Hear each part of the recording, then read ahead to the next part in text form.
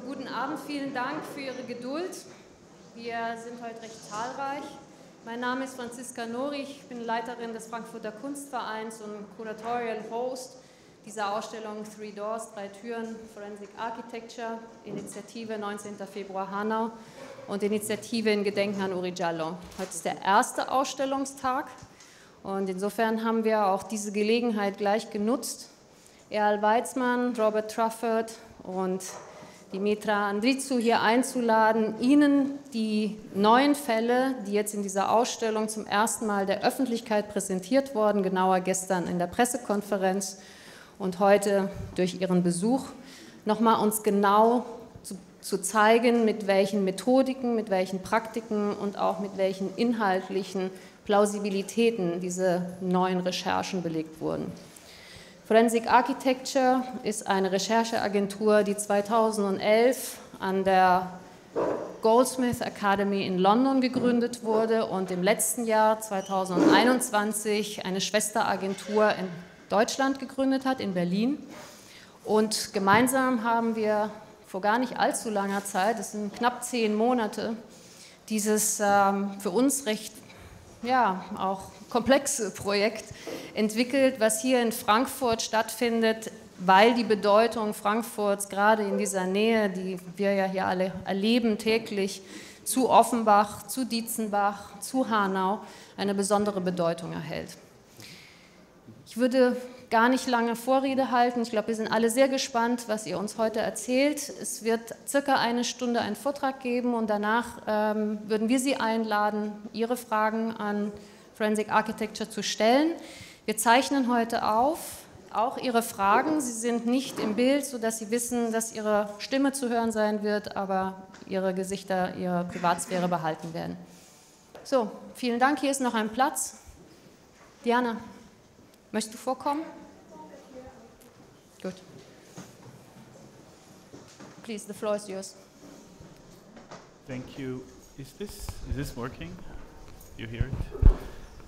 Um, Franziska, thank you so much for hosting this exhibition, for inviting us to present here, for working with us so closely.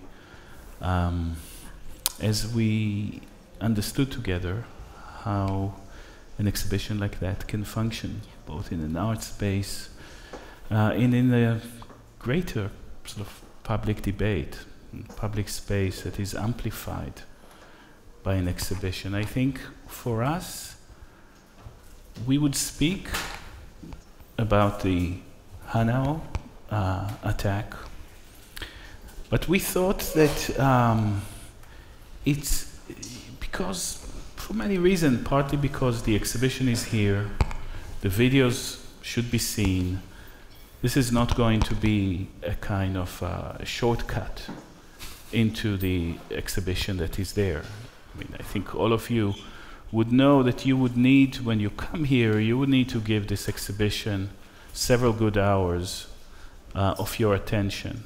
And um, so, in a sense, I think part of what we want to do today is tell you why that project is so important for us, why it's so emotional for us, uh, why it's been such an important process for forensic architecture uh, to come to Germany, open a new agency, and to open that new agency, to launch that agency of collaborative practitioners through this particular project.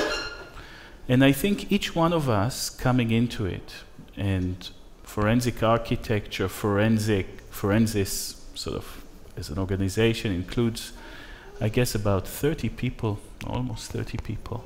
Each one of us come from a different place. Most of us come from um, a life history of struggle.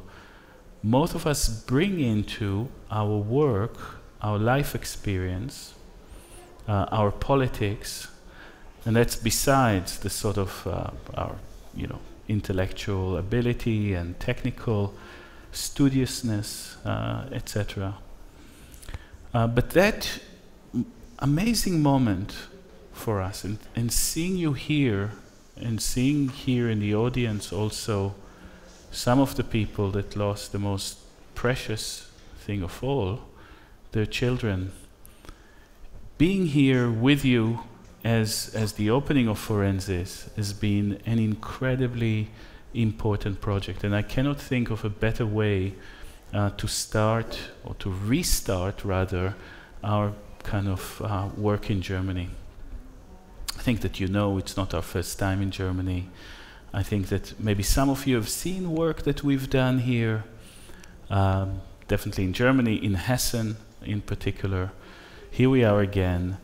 It's not that we have a Hessen obsession. Uh, it's not that we think this is need to be, you know, within a sort of worldwide uh, landscape of human rights violation, a sort of the uh, a focal point. It's just that Hessen calls us again and again and again. Uh, it's on, on the phone to us. There are many reasons. Partly is the continuity of violence and the continuity of negation that is part of violence. We will speak today about how negation is actually part of violence, how racist violence cannot actually exist within, without the covering of its own traces. And that's what's particular about racist crimes. Racist crimes is a crime that erases the evidence for its own, for, for its being, for its being there.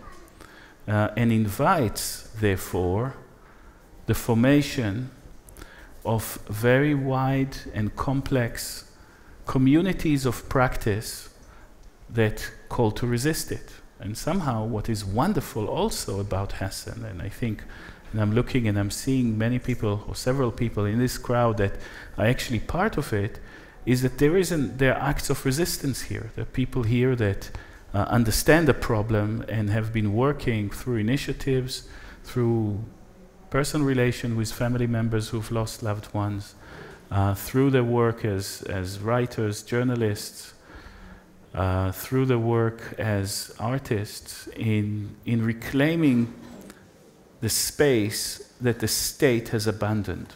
This is what effectively we're doing here. Because the minute that uh, racism and structural racism exist, it can be structural only in as much as it involves the state, as it involves state agencies. And at the minute that happens, the answer to that is civil society. Is the people actually gathering and saying, we saying no to those fines, we do not trust what the state throws at us, and we don't call for independent investigation, but rather we take over the means of production. We're saying we can produce evidence, we can produce knowledge, we can stand by the victims by ourselves in spite of the state and against the state to a certain extent. For me personally, being here is also, you know, um, personally very important. Um, I have I have an aunt here, and my aunt Esther Friedman uh, lives about 15 meters away from the front door of the Kunstverein. And as a, already as a student, when I was visiting her, you know, out of the window of her living room, we were seeing the Kunstverein. And somehow, as a you know relatively provincial guy from Haifa, uh, this is where I was born, Haifa, Israel. Uh, I was coming here and kind of getting my first uh, introduction into the art world through my auntie. I don't know if I don't see her here now, but uh, and through this place.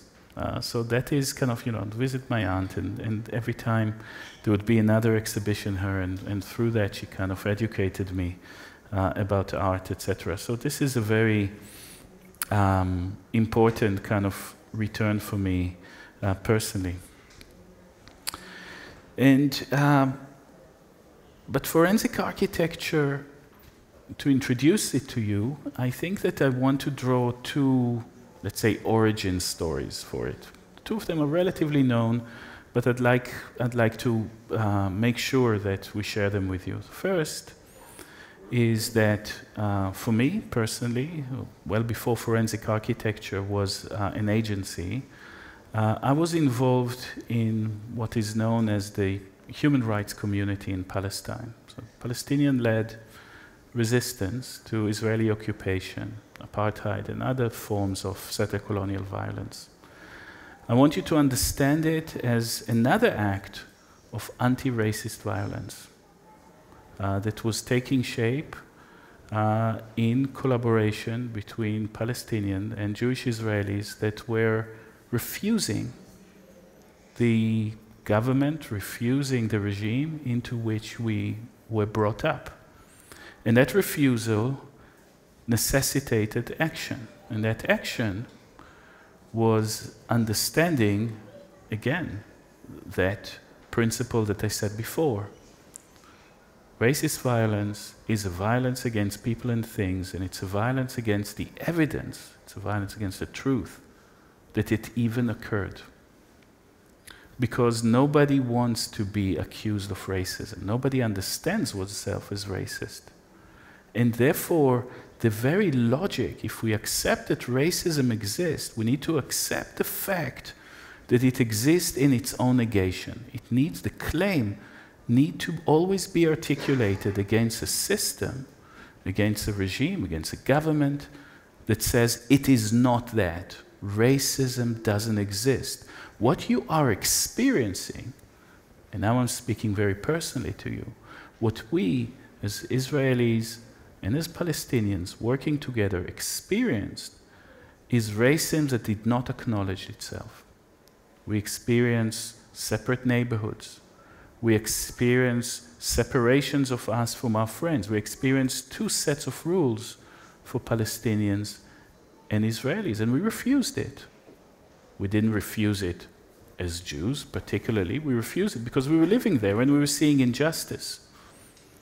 We refused it because it was intolerable. We refused it because it was impossible to live in that place without refusing it. It's impossible to live in a place that you one perceived as unjust, as one perceived as violating human rights, without finding a way. It was our lifeline uh, to oppose it. So we developed tools and techniques of doing that. And you know, as an architect, I studied architecture. I thought, okay, that's my toolbox let's use it. And we were seeing that a lot of the violation of human rights that occurred in, uh, in Palestine was architecturally manifested. There were settlements on the hills, there were settlements that were for Jews only, there were supervising Palestinian communities in the valleys. There was the wall, there were the checkpoints. You know, the whole system seemed to kind of materialize itself solidify into architectural matter. And therefore, intensifying our look into matter and architecture allowed us to understand it differently. And we started produce evidence. We mapped things that were unmapped because the Israeli occupation of Palestine, in fact, was negated in itself. They said, We did not occupy, we are not occupiers. We just simply live here. But that had to be mapped. And some of those techniques started to trace crimes of human rights violation that were produced on drawing boards. In the way that architects were drawing lines on plans, we were seeing how an architect could sit on the drawing board and design something like a settlement in a particular way that is not to serve their community, but to generate harm to another, to create a wedge to control, to envelope. And that started a kind of production of architectural evidence, was submitted to court, etc. We were seeing there is a lot of agency in it. This is not simply something to be presented for the information of people, but that we must put that evidence at the most confrontational arenas, confrontational forums that existed, and that were the kind of the instruments of international law, international justice, uh, International Criminal Court in The Hague, International Court of Justice, uh, and others. Then came images. The beginning, they dripped. In fact, in the Israel Palestine situation, let's call it like that, in that under that regime, was the first that, or one of the first, where user generated videos started to um, be used uh, to document human rights. Palestinians started buying cameras, uploading that material, analyzing it, putting it online in archives. And as architects, we started building models and located those images in space and started interpreting them. What I want to make sure that you understand is that a lot of what you see in our work in Mexico, in Guatemala, in Colombia, in Indonesia, in Germany, in the UK, comes out of that particular, the origin of it is in that particular struggle.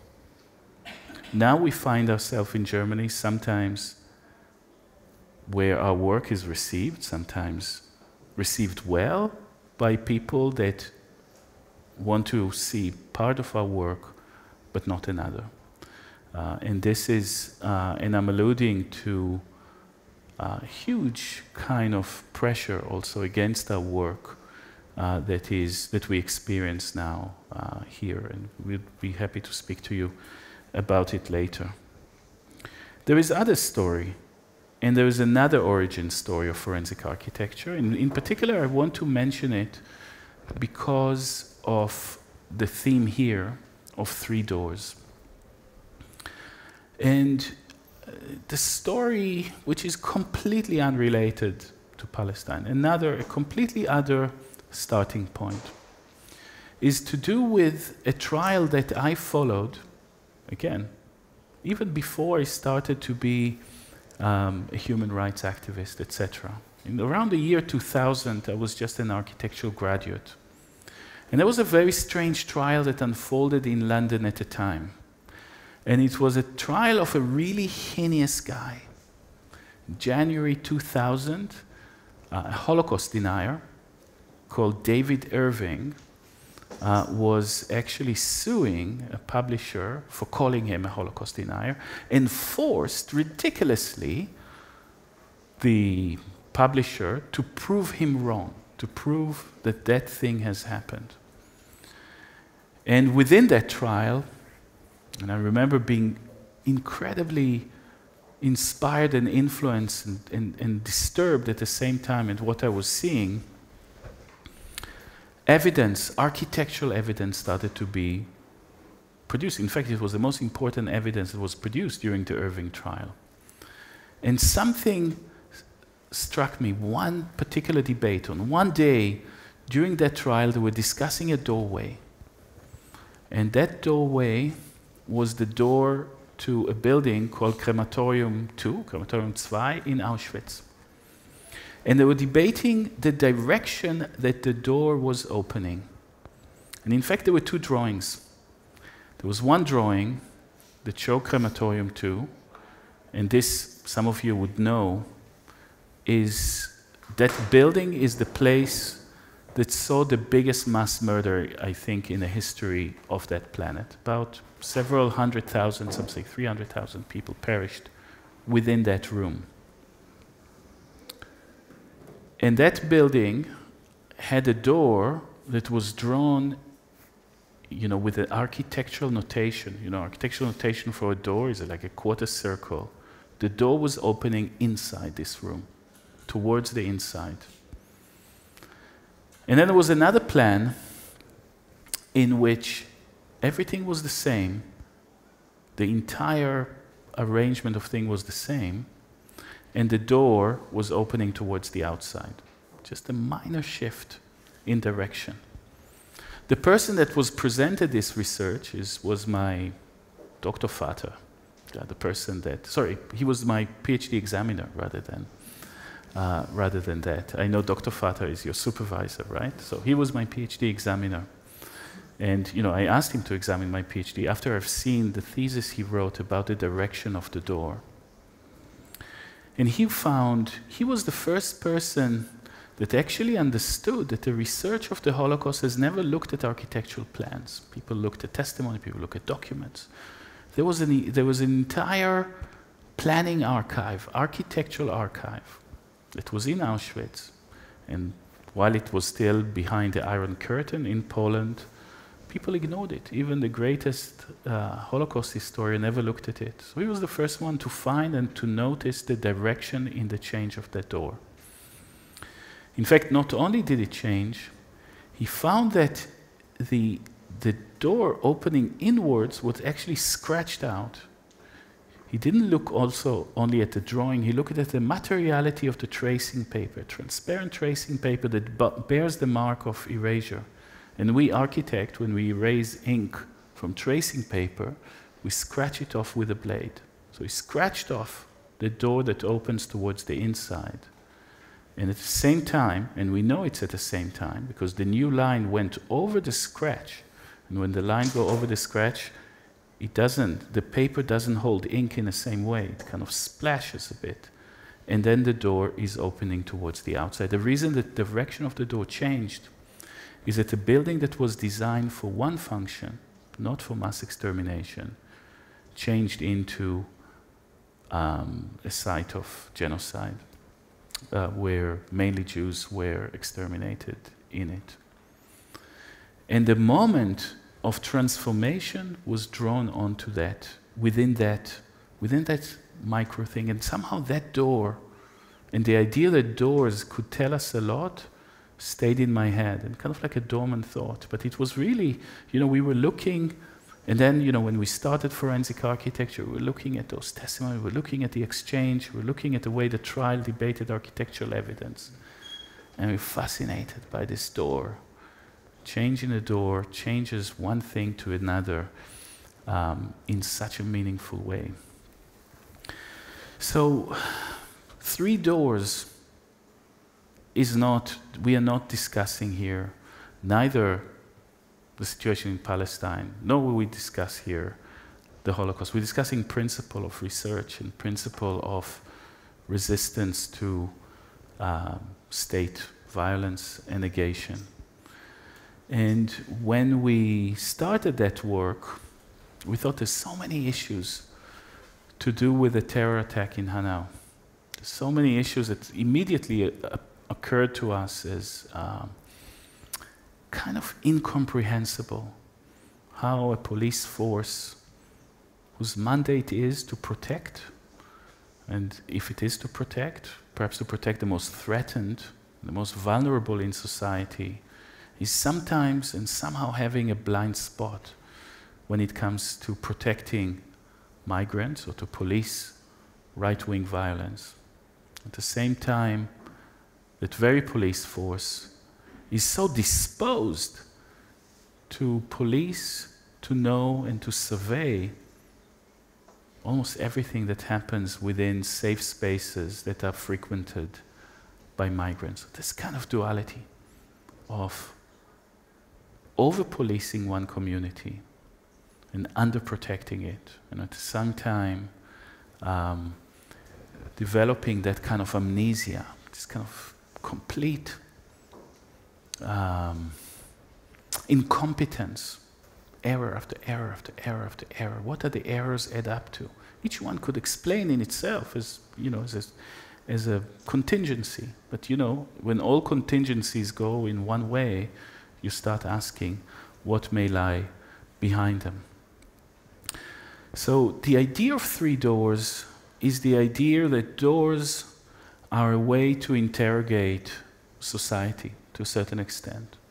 The relation between private and public is not predetermined, it is contingent always on a certain relation between privacy and publicity, between safe space and public space, between private space and a street, another kind of urban space.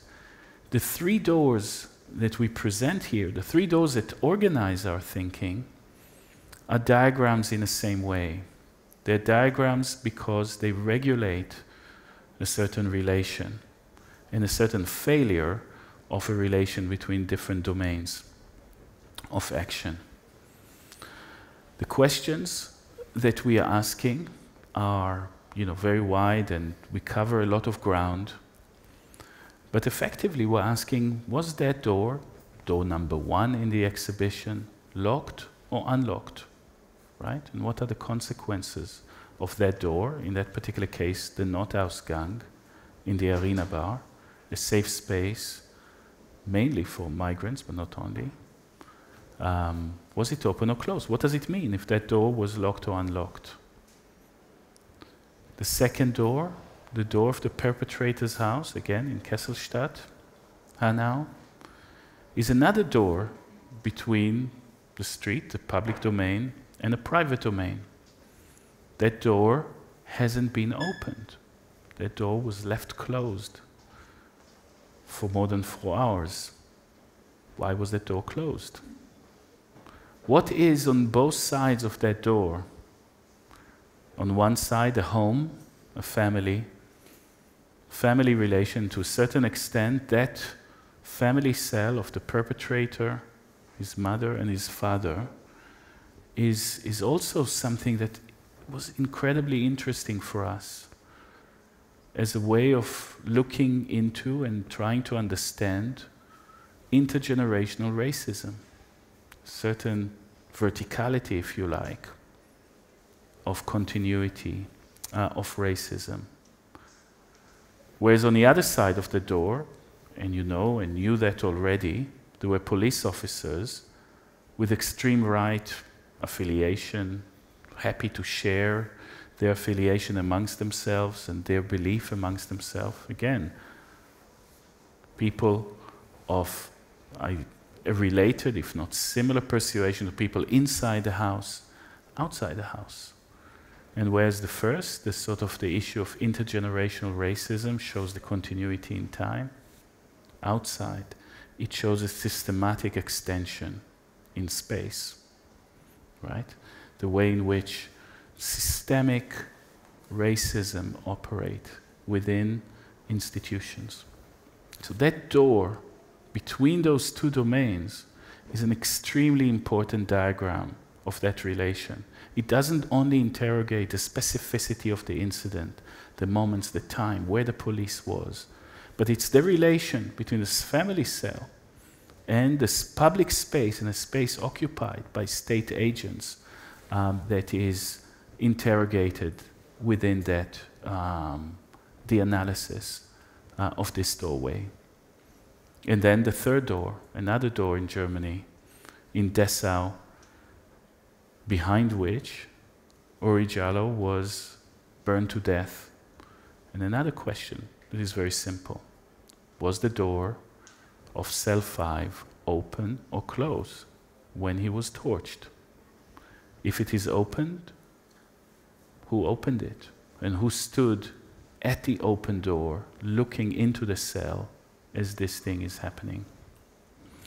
So that I want you to understand this exhibition and to return now, as my colleagues would help us now guide us through the discussion and understanding of exactly what happened in Hanau. I want to place it for you in a context both of our work of our beliefs, of our individual trajectories, and to understand this as those doors as political diagrams. Those doors are nothing, they're just an architectural device that regulates inside and outside in normal circumstances. When a society ceases to function, those doors become something else. And I think that with that, uh, with that, bearing that in mind and having that connection between the specificity of a case and a larger political cultural framework within it, which it is located, we need to enter uh, this exhibition. Because for us in Forensis and forensic architecture, being what we call a counter forensic agency, you know, we never work with states, all our cases, and we have about 80 throughout the years, in you know really all over the world. Those cases are um, about very very specific incidents. We dive into the molecular scale of smoke, of you know computer logins, logouts, sometimes of moments, instantaneous, split second of gunshots. These are eruptive moments But those eruptive moments exist within a milieu, within a certain environment, and they're connected to it. And therefore, it is only possible to undertake counterforensic. It is only possible for civil society to gather around cases if we do this labor, this careful labor of honoring the life lost through precision, accuracy, through our emotional involvement, through um, the care within which we look at a particular case, and the labor of connecting, that connection that needs to be done, not only by us, but by all our partners uh, and colleagues that work on that. Because that work, that labor of connecting the molecular level, the split second of an incident, to the long duration of relations within a particular state, to the long history of migration, of racism, of different histories that need to be connected to, is not easy. You don't just make from one instant to the other. You need to work that connection, that weaving, that gathering of evidence is both technical work. As you see here, it's a static labor, meaning we're presenting it to you here to debate, for you to see, and to have to pass your own judgment on. But it's also social labor, because every case to be addressed in that way, both in the focus and in the breadth of cases, finding the long duration in a split second require building alliances. Every case is a social construction. Every case can only is as strong as the community that has produced it, as a community that uses it and mobilizes it. Here in this exhibition and in this work, we've relied upon two years of work of uh, the initiative 19 February that itself relies on the work of the relatives and parents of those lost, um, but of many experts and many other people that uh, have supported their work. And now also uh, that particular space in the city of Frankfurt that is open up not only as a kind of as an empty space for us to put on, but of thinking about how to turn the infrastructure of the art and culture into spaces of accountability, into spaces of mobilization, into acts of social construction.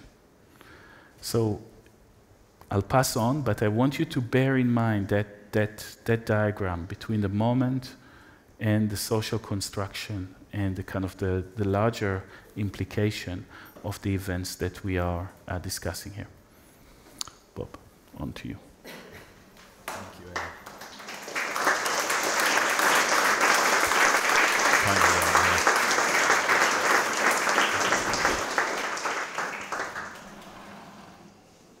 Thank you. You hear me okay? Sorry? Thanks very much. Um, yeah, thank you, Eyal, for a, a, wonderful speech and a difficult act to follow. Um, I want to say thank you very much, first of all, to the Kunstverein for having us, to Franziska and her whole team. Um, yes, I see you waving there. Uh, to Jutta and Anita uh, and to Mark and Moritz and to Frein and to Kevin, really the whole team. Annika. To Anita. Thank you. And to Dietrich, of course. Um, I want to say thank you to our team too, to Ashkan and Julian here, um, to Emily, and uh, to all of those in Berlin and London um, for uh, producing such wonderful work together uh, in support of um, and with and on behalf of, and, and, and really um, it would have been impossible without the support and the experience and the, um, the knowledge of the, uh, the families of the victims, the survivors of the, um, the attack on the 19th of February 2020, the attack which, um, which took these nine lives. Um, I want to say thank you also to the um, to Mukhtar Ba and to Saliu Diallo the uh, friend and the brother, respectively, of Oury Jalloh, uh, to all their friends and supporters uh, and allies in the Initiativa, in Gedenken and Oury Jalloh, and beyond. Um,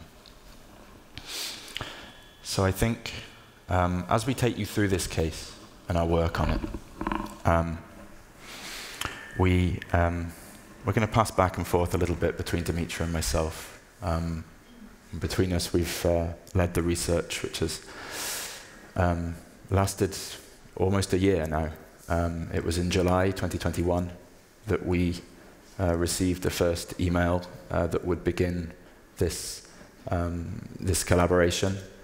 Um, and as I look at the work on the wall here, I realize that was um, just a few days, just a few weeks indeed, after the revelation that um, 13 of the uh, Special Forces officers who had uh, arrived on the scene that night and surrounded the house and um, waited for so long outside the door, um, the second door of our exhibition, the door that Eyal has already spoken so, um, so well about.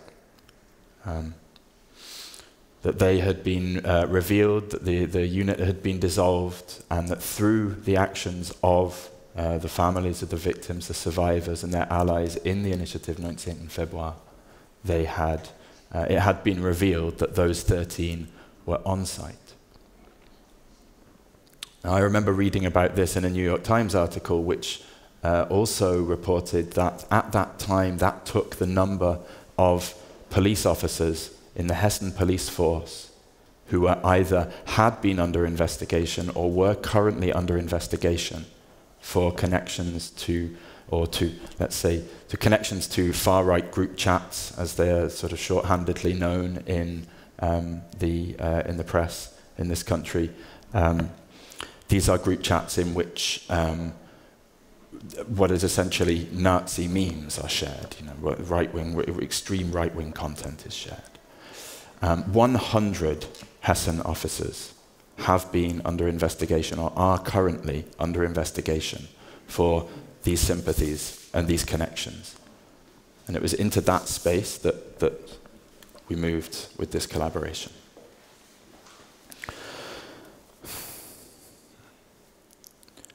So I want to tell you, we want to tell you about two uh, aspects of our work reflected in two films that you'll see in the room across the hall. Um, we're not going to take you step by step through each investigation. One, indeed, was presented um, by one of the survivors, Said Etris Hashemi, who was uh, in the arena bar um, on the night of the attack with his brother, Said Nesar, with Hamza Kurtovic, uh, and with two other friends. Uh, and that work related to the locked emergency exit, the Notausgang, um, about which uh, many of you are, um, uh, I'm sure, familiar with the story of the work that we've done there. Um, and and uh, Dimitra will shortly take you through um, some reflections on that case um, and some new, um, some new parts of the story, a new chapter which we think is just beginning, uh, due in no small part to the work of uh, Armin and Diana Kurtovic. Um, thereafter, I'd like to talk to you about a little part of the, um, the second film related to the perpetrator's house. Uh, and we'll, we'll speak and, and, and, perhaps afterwards think together about how, the, uh, how, this, this, how to, to take this knowledge that 100 officers serving in the Hessen police uh, have, have been investigated for this connection. How we are to take that knowledge um, and, and, and through it see the, the, the complete failure of the police operation to pursue and apprehend a uh, violent, a racist, extremist murderer. Um, an operation which was demonstrably dysfunctional um, and which, as Eyal has alluded to, justifies itself uh, after the fact. Uh, it tries to explain now its own failings away, failing after failing after failing, each of which perhaps can be uh, made into some conditional, explained, given some kind of excuse, but when we see every one of these failures stacked on top, on top, on top, I think we have to think together about what it means, and it's, it's a, a privilege to have this opportunity in this space to do that.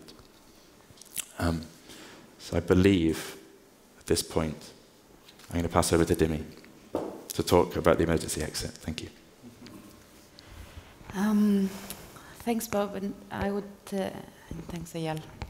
And I would also like to thank um, everyone at the Kunstverein for this intense months of work and um, our team for these intense month, months of work. Oh, sorry. Oh.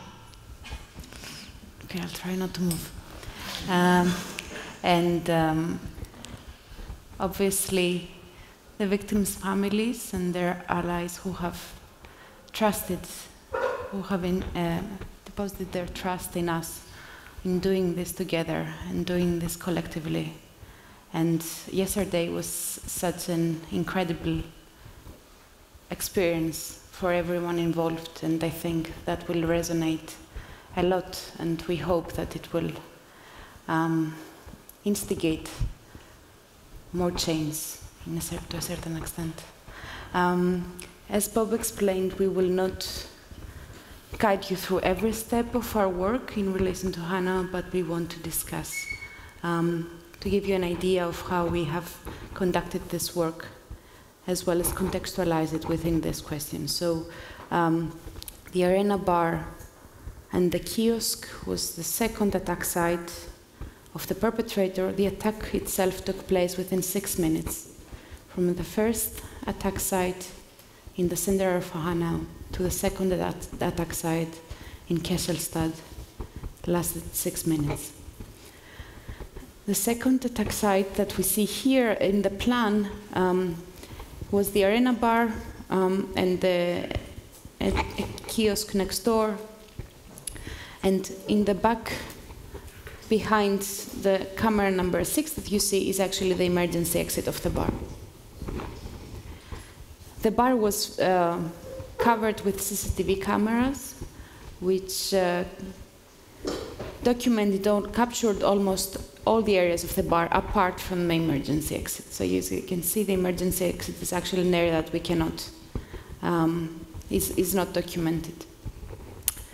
The question that we were tasked with exploring was not was the emergency exit locked. The question that we were tasked to explore was did the people who were in the bar when the perpetrator entered the lobby have enough time to escape through the, the emergency exit if it had been open? Because that was also one of the arguments by the prosecutor when closing the case that it cannot be assumed with, with sufficient certainty that these individuals had enough time to escape through an unlocked emergency exit. So what we did was that we closely examined this CCTV footage uh, from all six cameras. We synchronized them. We corrected the timestamp of the CCTV cameras, and we tracked everyone's movements inside the bar. Um, then we mirrored. We will. I will not go through all the methodology, but essentially we um, analyzed their paths and then mirrored their paths to establish how long would it have taken them to reach the emergency exit and exit, escape the bar. And we reached this conclusion. This is the final still of the final positions when the perpetrator would enter. So from the time that Etris, one of the survivors and brothers of Said Nesar, sees the perpetrator with a hand with a gun in his hand entering the lobby until the time the perpetrator actually enters the arena bar because the perpetrator first goes to the kiosk and kills Ferhat Unvar, Mercedes Kierpacz, and uh, Gökhan Gültekin. So there were nine seconds. Nine seconds is a long time when you're fleeing for your life. And Armin, who is here, I don't know if he's here right now, I don't see him. but uh, Armin Kurtovic, the father of Hamza Kurtovic, who was killed in the bar, when he was presenting, talking about uh, the Notausgang in the Untersuchungsausschuss, it's currently Wiesbaden, he gave nine seconds of silence so that everyone can feel how, how much time this is. So essentially, our, our conclusion of, of that analysis is that indeed all four people would have been completely out of sight of the perpetrator by the time he arrived. The fifth people that we see here would have been within his line of sight only for a fraction of a second and in the longer distance before moving out of view as well. Essentially, showing that indeed all five, all of the five individuals who were sat in the front of the bar during the time of the attack could have survived the attack if the emergency exit was open and they had known that. Now, there are a lot of indications about why the people there would expect the emergency exit to be locked. Um, and that was because it was indeed found to be locked in the past in several occasions by official authorities, as well as, and there are reports that the, the history of the bar, the, the troubling history and relationship of the bar with the police was a contributing factor to that door being locked. Now, this is what we see here is the sketch done by one of the police officers after the attack that actually mark, who actually marked the, these two doors, one the Notausgang on the top and the left is one door leading to a small cabinet. he marked them as being locked. The other police officer who was with him, when he was asked about whether the Notausgang was open during the securing of the crime scene, he said no. But then he qualified his answer and, he, and said, as far as I know. So you can see the no is written on typewriter, the as far as I know is added by a pen. Um, both police officers qualified their answers later um, by saying that it may have not been locked, it may have just been jammed, and also excusing the fact that they are not 100% sure by saying that the, the same police officer who qualified their answer in the same statement had written that the crime scene was not secured and examined in, the, in, its, in, in detail because the perpetrator is obviously dead. So that tells us quite a lot about what the police is investigating us and how. The first of those documents, sorry, is, uh, is, uh, um, is a record of the, tw- of the twice uh, previously that the Hanau public prosecutor is aware of that the uh, Notausgang was, was locked, 2013, 2017. And below is, sorry, is the quote that you were discussing. Excuse me. Um, and the survivors, as you see here in the left sketches, actually, these are made by Etris and Peter. And Peter, this, the day, the morning after the attack, said that the emergency exit was locked. It was not something that came after months. It was immediately stated by him to the police in his statement.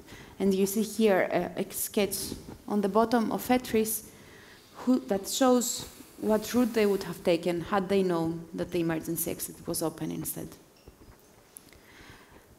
Now,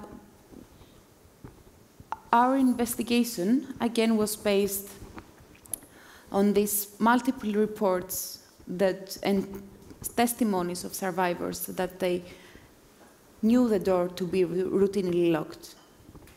Yesterday, in the press conference um, that we had in the morning, Armin Kurtovic, that we see here, presented additional evidence that actually suggests that it was not only an expectation created by previous times that they had tried to go through that emergency exit and they had found it locked. It, it was actually an expectation that was created from that same night, a few hours after the attack, because they tried to go through the emergency exit and it was locked. You might not be able to see the time code here, but the time code on uh, this image says 2122. Now, even if we account for the seven minutes uh, and one second that the CCTV was out of sync with real time, this means we are less than an hour before the perpetrator enters the bar. So this, what, what Armin has presented yesterday is these screenshots where you see someone going towards the back, the area that is blind to the camera, which is the area of the emergency exit, and coming back after a few seconds. And he's presenting that together with uh, official signs, statements by the people, survivors of the bar, as well as the people that were there before the attack, who are attempting to go through the emergency exit and they find it locked. Um, and one of those people who is looking at others trying to go to the emergency exit and coming back was Hamza himself. So that is why Armin himself is always saying that Hamza knew. It was not only he was expecting it, he knew it was locked that night.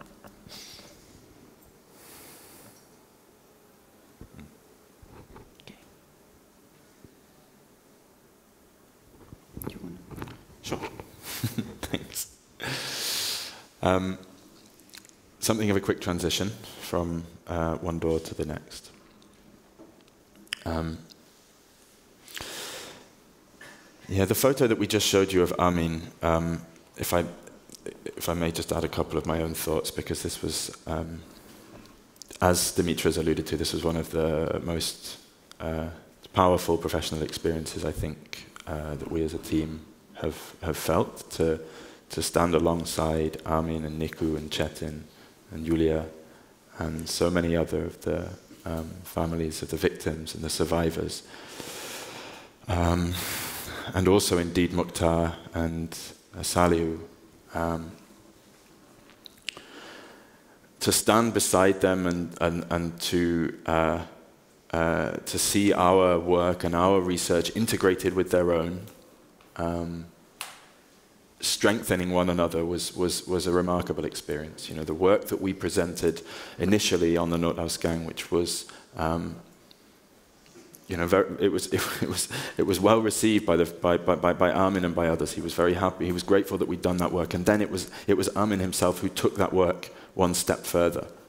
Um, and this sentiment that we um, had understood as underpinning the importance of the, uh, the nine seconds research that we did, the, the, the, research into nine seconds that we did.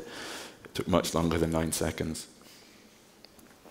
Um, was predicated on this idea that um, those young men had experienced over policing the CCTV cameras in that bar.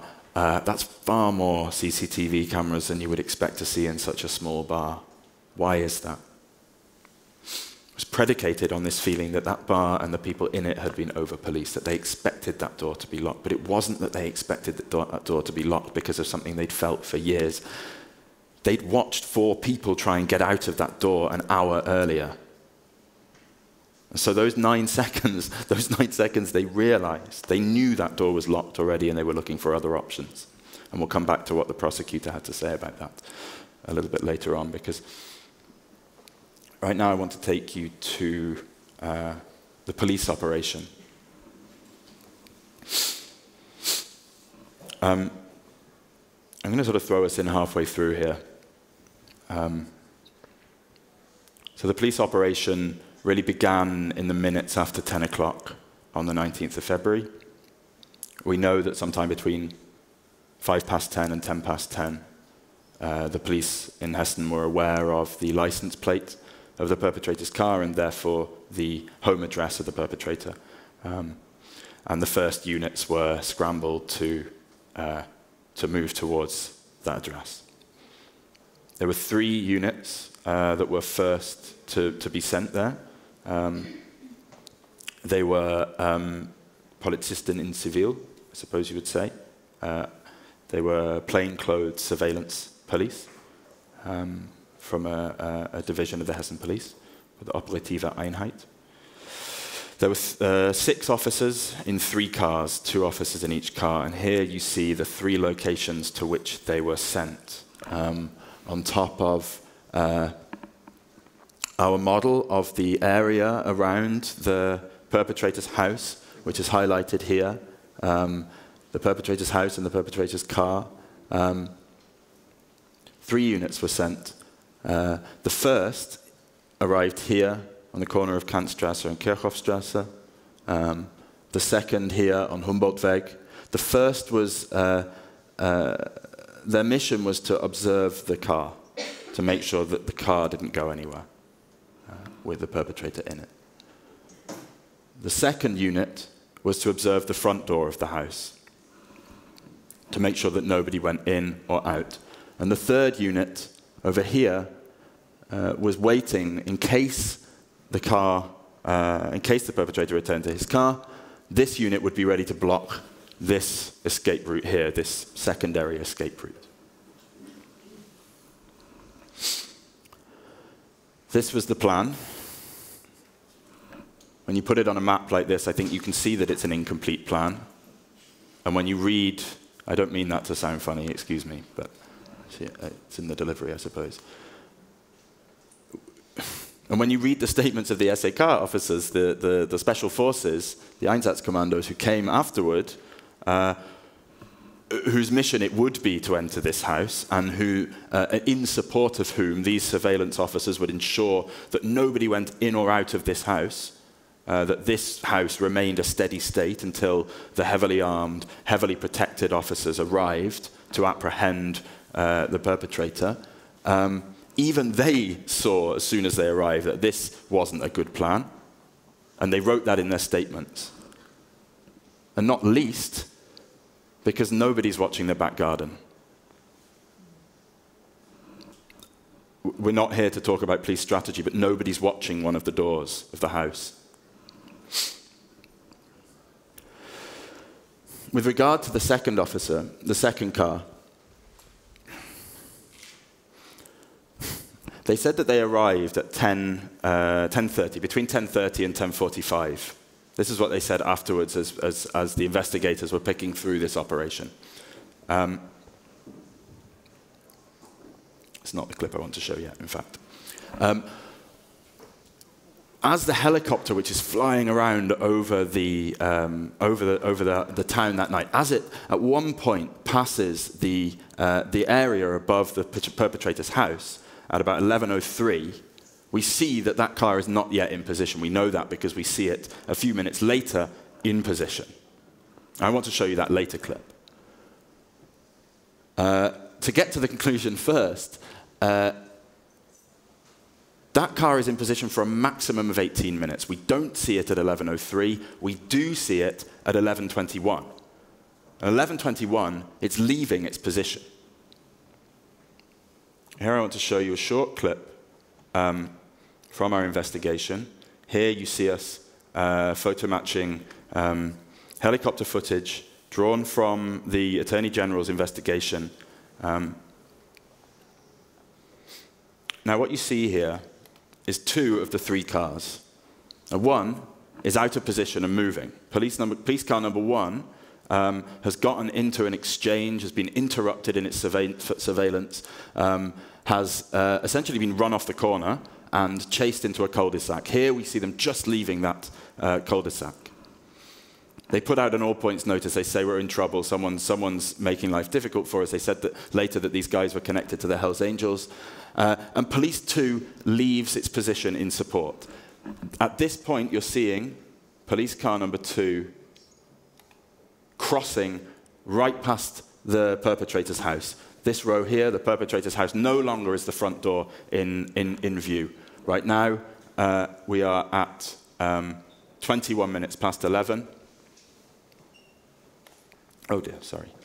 And what you see um, is that uh, the, the front door is no longer under surveillance. It will not be under surveillance again until half past midnight if we take the SEK at their word.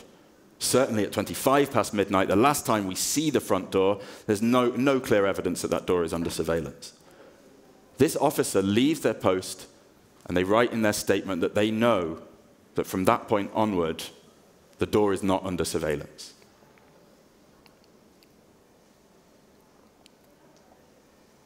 What do we have here? It's the same clip. Good. Don't tell me it's the same clip again. I mentioned the, the, the, helicopter. The helicopter is uh, a, a, a, fascinating um, case in point about the uh, total dysfunction uh, that, that, that, that, ran through this operation. I don't know how many of you have seen any of the reporting that came out in the last 24 hours following the press conference that we held uh, with, uh, together with the families of the victims. But to put, no, no, to put a fine point on it, to, to, to beat around, around the bush, not at all. The, the police helicopter never knew where it was supposed to be. It flew for two hours over the city of Hanau, town of Hanau, and it never knew what it was supposed to be doing. And we, how do we know this? Because the two pilots, they speak to each other, and we have that recording, and we share some of that recording with you in our film. And they say, why is no one speaking to us? Did we ever get the address? They say the radio's not working. They need to sort this radio out. They say the radio never works, which is not reassuring. Not reassuring. But it's using this material that our investigation uh, into the police conduct really began. Here is the helicopter, without knowing, catching the first evidence that the, that the perpetrator uh, is, uh, has arrived back at their house. Here is their car, and here their house. But the helicopter has no idea what it's caught.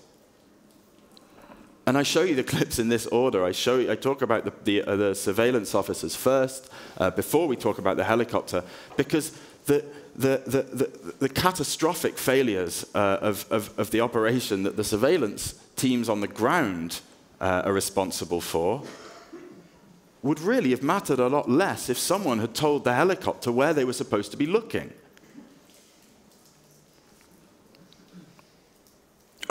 I mean, let's talk about why this, the absurdity is almost funny. There's a surreality to what's going on here. But of course, it's not. It's not that. Um, I might be at the end of what I want to say about the police for now. Um, thereafter come the SEK. When the SEK arrive, they say, well, the one of the first things they recognize is that this operation was a failure. But they say, they weren't too concerned about that because, and this is in the written statements of the SEK, they say they're not too concerned about that because the perpetrator doesn't seem like the kind of guy to leave his house again.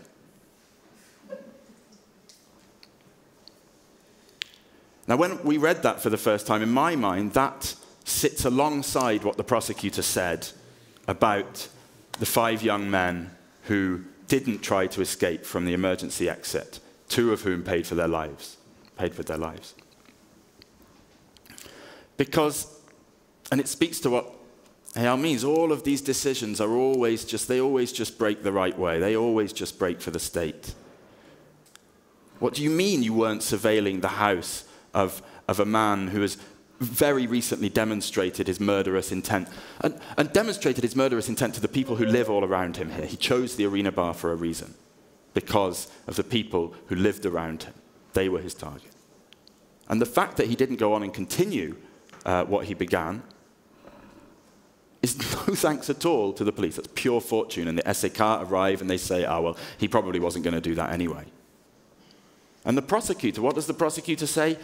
It, it doesn't really matter if, we, if, if, the emergency exit was locked or not, because it, they, they, wouldn't have run. They wouldn't have run that way because they had to run slightly toward the, the perpetrator before they ran away again.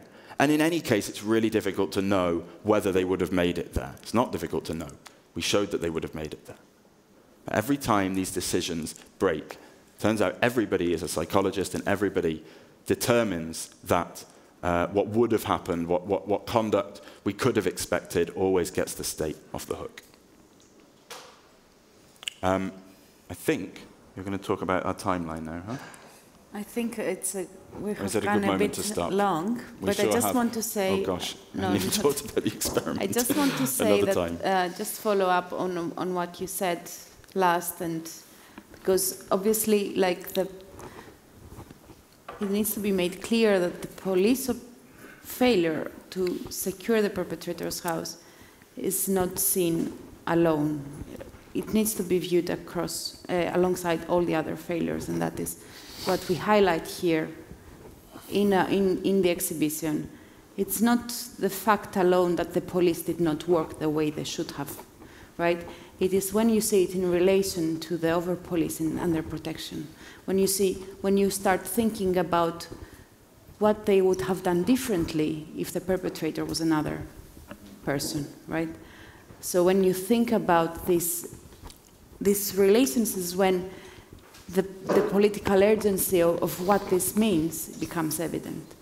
So, and I, so it, these failures are not just the, the only failures of the night. They are alongside the locked emergency exit, they are alongside the unanswered emergency calls. And here we have three films that we invite you to watch that were done by members of the initiative on the matter of the unanswered emergency calls who cost Vili Viorel his life. Um, and again, there the prosecutor states that, similar to the arena bar and the perpetrator, that actually we don't know if Vili would have obeyed the advice of the police and stop when they told him to stop following the perpetrator. This is the, this is the response they give about the causality between the unanswered emergency calls and Vili's life. This is not even just rude, it's like they blame Vili for being killed. So, um, just to finish there, there is obviously a lot of other issues like police not attending to victims in a, in a timely manner, and everything, all of this, we have them documented in our timeline, and we do, we do invite you to take a close look at it. Um, it's not documenting just the night, it's documenting the investigation of the night as well. So we have corrected almost all the police timings and that applies both to the timings that are we have um, access to through the CCTV footage of the different bars, but also the same timings about the emergency calls. Even those are not what the police and the prosecutor say. Which actually means that, and we go back, that there is, and the victims' families have been saying that, it's not just the attack, there has been a second and a third and a fourth and a fifth attack on them. And when they are not heard, they need to scream and intervene. And this is why we all do this together with them. It's, I think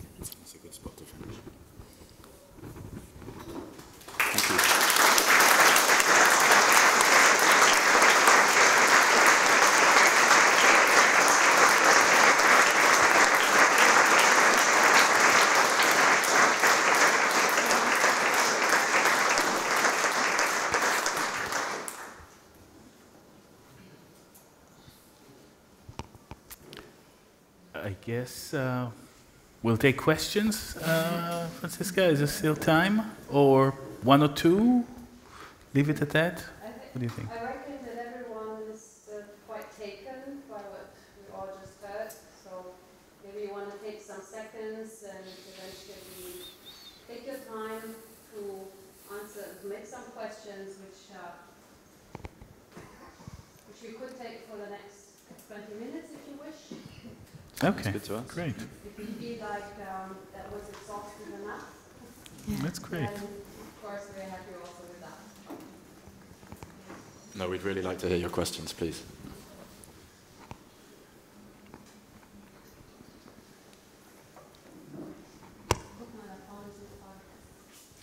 Uh, maybe maybe we need to wait for the mic. Sorry. Yeah. Yeah. While, while the others just try to um, think about what you've just said, right? Um, just one hour ago, I was over there, and um, so also had a look at the sound simulation you've done, right, at this gunshot, and uh, you've kind of missed it here, and um, but for me, it was very interesting to to hear the or read these statements of the father saying, "I haven't heard it." And also police officers around or, or the, the one and two and three cars saying they haven't heard it as well, right? So I, I believe maybe for the audience as well, for people maybe haven't seen it yet, it would be interesting to hear um, your comments on that. Do you want to take it, TV, or should I? Sure. I mean, we actually didn't speak about it because we were running over time. we have the slides one we made here. Um, but to to take it back to where Bob had left it in relation to the helicopter, the helicopter um, is looking at the perpetrator's house for around 14 minutes, and by accident. While it's flying over two hours, two hours and 10 minutes, it's just looking at the perpetrator's house for around 14 minutes which means that these 14 minutes are, are our only visual source of information about that night. Keep your head still.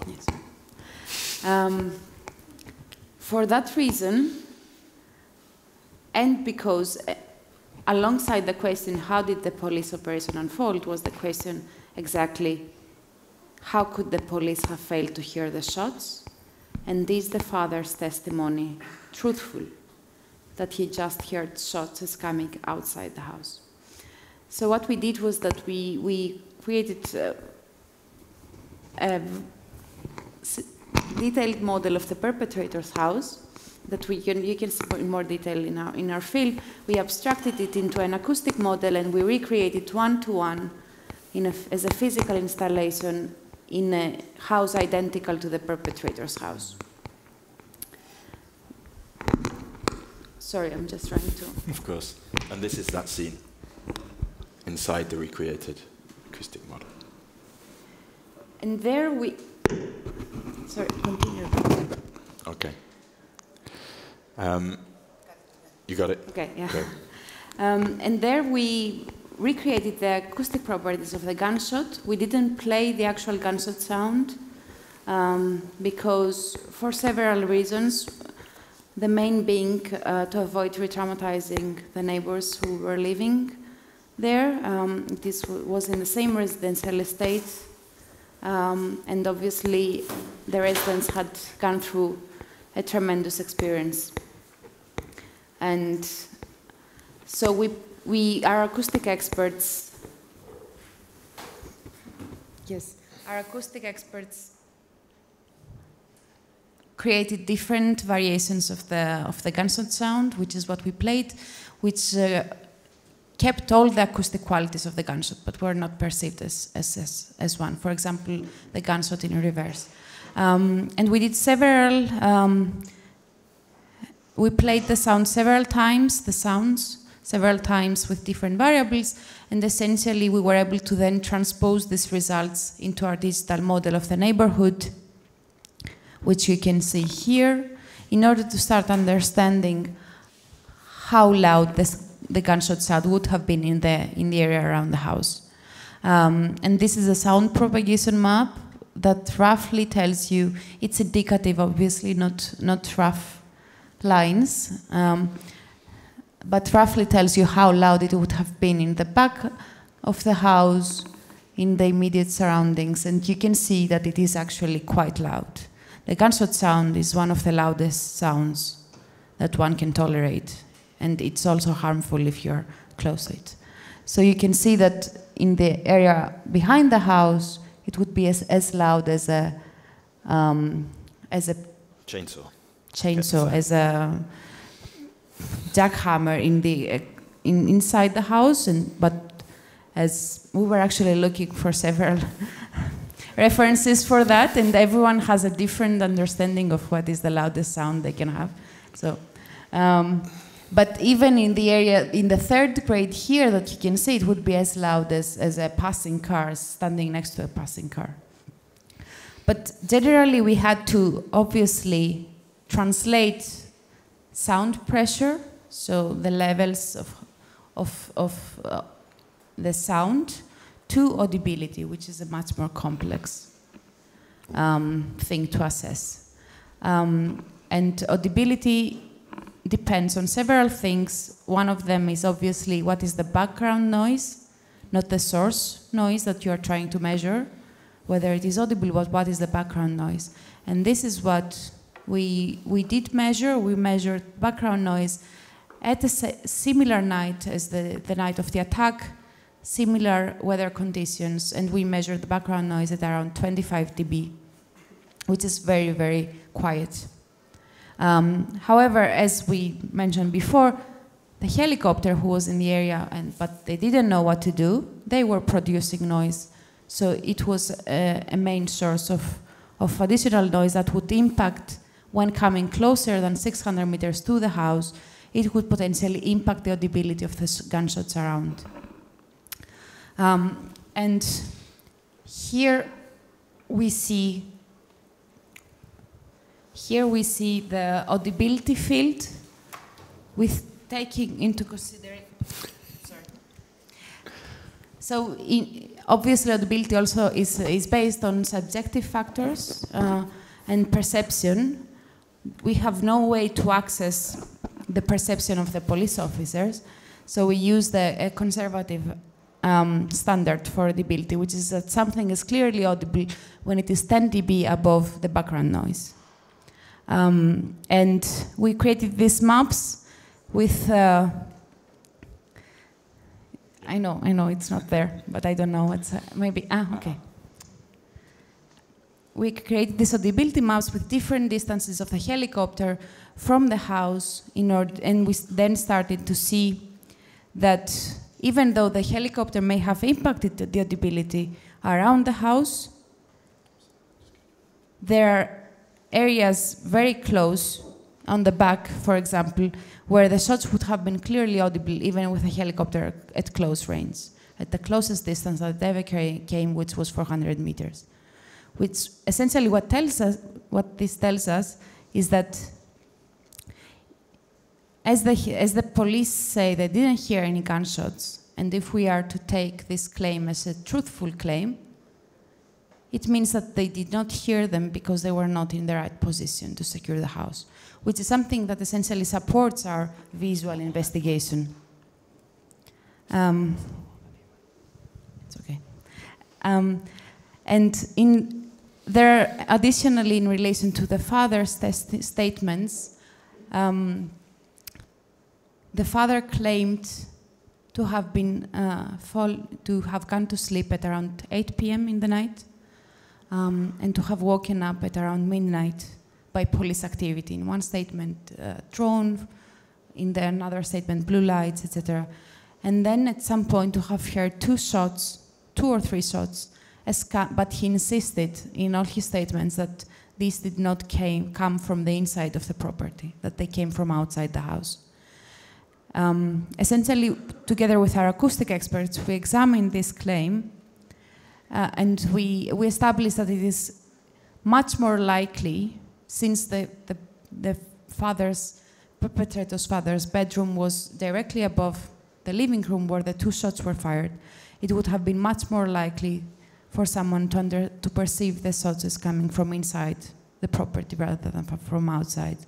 And this, again, was in, uh, this was not the only contra contradiction that was examined there are other contradictions that exist within the same case files that the prosecutor has um, that relate to internet activity. For example, at the time that the SEKs are gathering in the corner, um, at that specific time there is seven minutes of internet activity in one of the computers.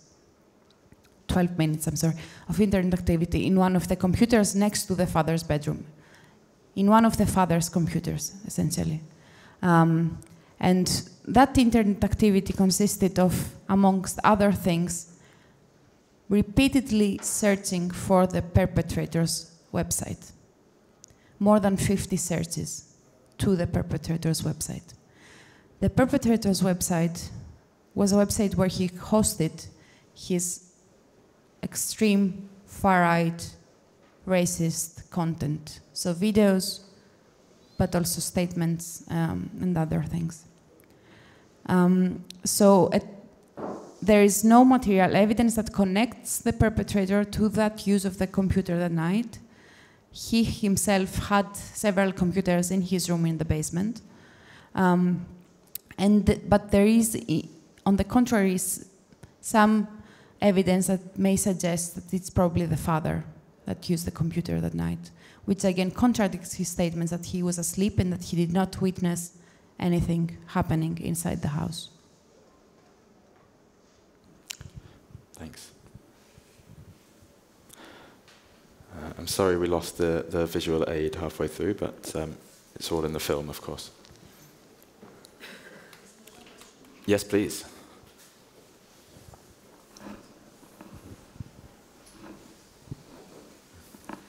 Uh, first of all, thank you very much for your uh, work. It's uh, it's so important from the first thing that you told the mapping which you did for the occupation in Palestine, or now the the way uh, to the Notausgang. It's uh, these visualizations that are so uh, important and impressive to understand, to see what is happening. This, these are the things that are not told in uh, television or newspapers like this, but these are the, after the investigative thinking you do, um, and, uh, and with these uh, visualizations for everybody to understand, ah, this is, um, this is happening. It, uh, it's very clear to everybody, uh, for everybody to understand. And uh, my question is, how do you get these informations, like the the recording of the pilots, uh, of the police pilots uh, speaking? Uh, how did you did you get this uh, you recording? put us in trouble, don't you? um, No, no, I think no, that no, we let me- could say that we have received this information in a legal way. A legal way. You said a legal way. Okay, because I was A thinking the police way. would, um yeah, they would not uh, give it to you, and uh, It's been obtained legally. It's been obtained legally, and publication of uh, material from a case file which has been concluded is entirely in line with, uh, with the law. But this investigation, for the state, this investigation is over. They found out everything they need.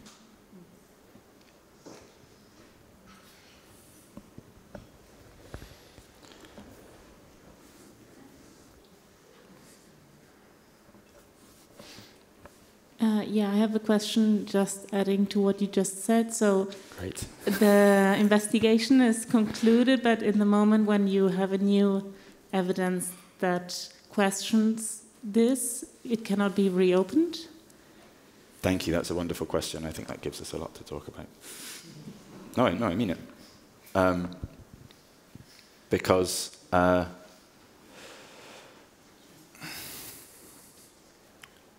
you know, it's, it's, it's, it's no, easy, no easy thing, one would imagine, to force the reopening of, a, um, of an investigation um, or even the consideration of an investigation by the Attorney General, by the Federal Attorney General. Um, and indeed, what we see uh, on this timeline to, to your left um, is precisely an examination of um, the exploration of options by a movement, by a civil society uh, collaborative network, when, uh, as we see this cascade of black marks at the top right of the image, um, when legal avenues are closed off to um, to, to that movement, to the, uh, the, the, the survivors, to the bereaved families, to those who, are, who, who pursue and deserve accountability. Um, some of you might recognize this format of mural from the last time that we came to Hessen. We devised a mural like this to tell the story of the, the, the initiatives that had come together to uh, try to pursue accountability for the NSU murders uh, in, a, in a context which is not entirely dissimilar, where the state simply does not want to hear uh, the, the, the, the, clear, situated knowledge, the experience of the victims of the violence that's been perpetrated and the violence that's been ignored and minimized and explained away by uh, all parts of the state. And so, whether we are pushing to reopen the Federal Attorney General's investigation or finding other ways to, uh, as Eyal said, to take the means of evidence production and investigation into our own hands and indeed into our own hands, along with the, the survivors, along with the family members of the, of the victims, along with all their supporters in the initiative 19 February, and, and more widely. Um, you know, that's, that's, that's the question, and that's, that's, that's really the proposition, I suppose, that um, when uh, the forensic process, when the state's forensic process, when the, when the, the procession from crime scene to, uh, to analysis to courtroom to sentence is disrupted by the entanglement of, of, of the state, whether that's the direct entanglement of state agents or the mishandling, the failure, um, the, the widespread far right sympathies. Um, then other approaches need to be tried and other, investiga- uh, other investigative means need to be worked out and other forums uh, need to be found for those, the products of those investigations to be spoken in. Yes, I would, I would just like to add to this that, um, for example, the, also the case of Oury, we see how 17 years now, they tried to open the case. It's not that you abandon that mm. avenue. Mm you try and then you, you get um, obstacles and then you get to try again and then but you try every way you can so in every other avenue that is not closed um, so that is because obviously the Hanau attack is more recent and the case the closing of the case is more recent but it will go in a similar way so there will be appeals that then they would be uh, submitted and then um, denied and then submitted again. But at the same time, the struggle operates in all these different forums that you can see also in the timeline, and that is very prominent also for Oury's case. And we saw it how they spoke about it yesterday, um, both his brother and his friend Mouctar and Saliou.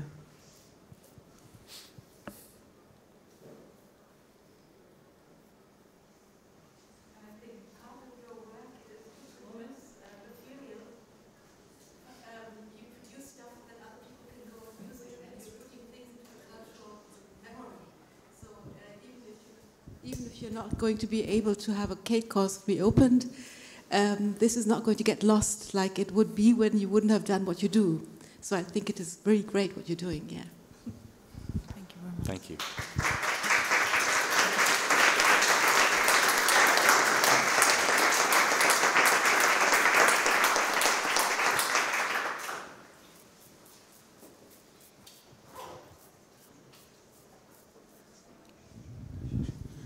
Um, imagine you'd be the Staatsanwalt for a couple of weeks or something. So you're in Hessen, you, are, you have the power. What would be the worst, no, the best case scenario? What would you imagine they would do? We would like the uh, investigation of the father uh, for complicity in the crime to be open.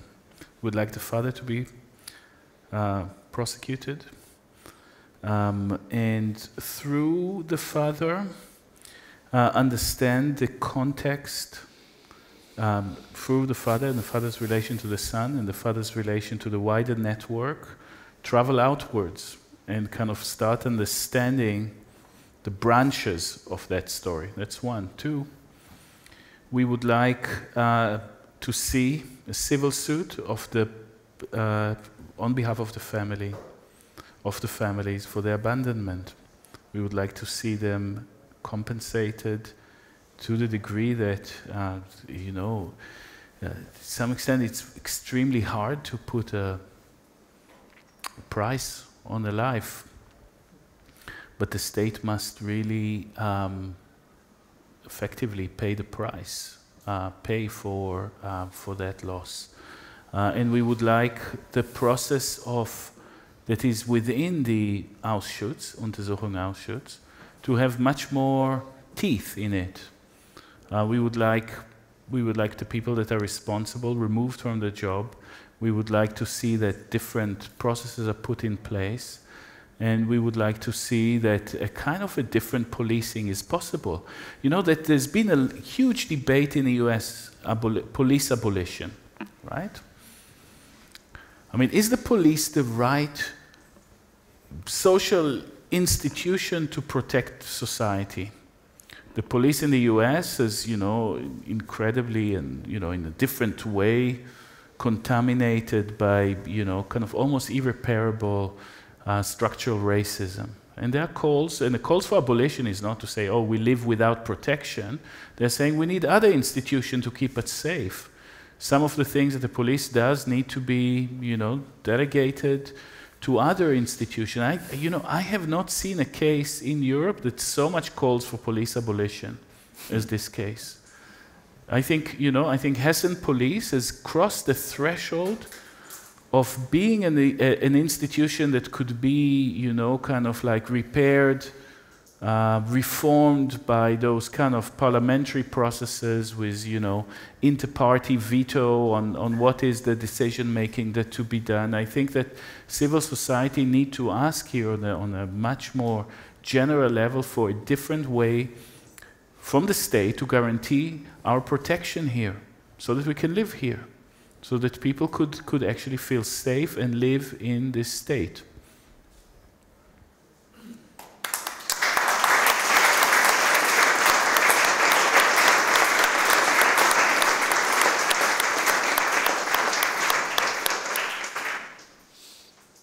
Uh, I would also like to thank you for your precious work um, and all of this information and for making it visible.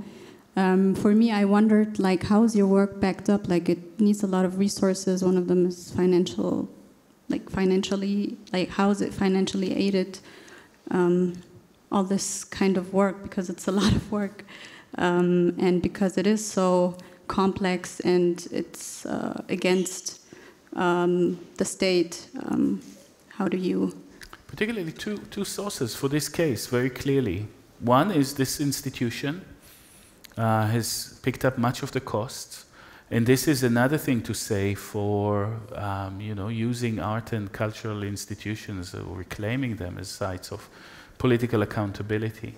Uh, it couldn't have happened without the funding that we've received from uh, from the Frankfurt Kunstverein. And the second and even larger source of income is individual donations, small individual donations to the initiative 19 February, uh, that have been designated and uh, particularly for this work. So yeah, go on the website.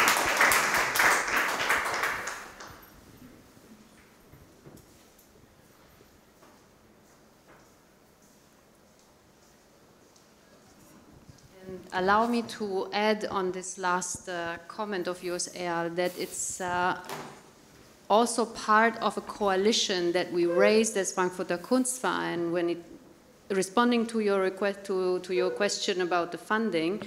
It's not that we have the funding ourselves to be able to fund such an exhibition. We do a lot of uh, work in trying to raise this and uh, applying in public and private institutions and foundations that believe in the work that is yeah, the work that we present or we wanted to present in, as a project, as a future project. And therefore we have three public entities and a private entity that supports that this sort of investigation is being produced and delivered and presented in a cultural institution. I think this is also something that is meaningful to be addressed because it's part of an equation that otherwise we are not able to consider and to debate as well. And in this case, it's always mentioned wherever we do communication, it's the Bundeszentrale für politische Bildung, especially for the more discursive parts. and for the 10 videos here where um, the witnesses of the, of the, and the families are being shown. It's the Ministry of Wissenschaft und Kunst, of Arts and Science. And uh, it's also the Kulturfonds Frankfurt Rhein-Main. Thank you for having me add this as well to your public awareness.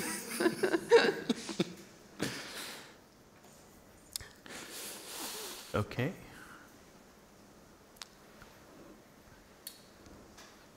Enjoy the exhibition.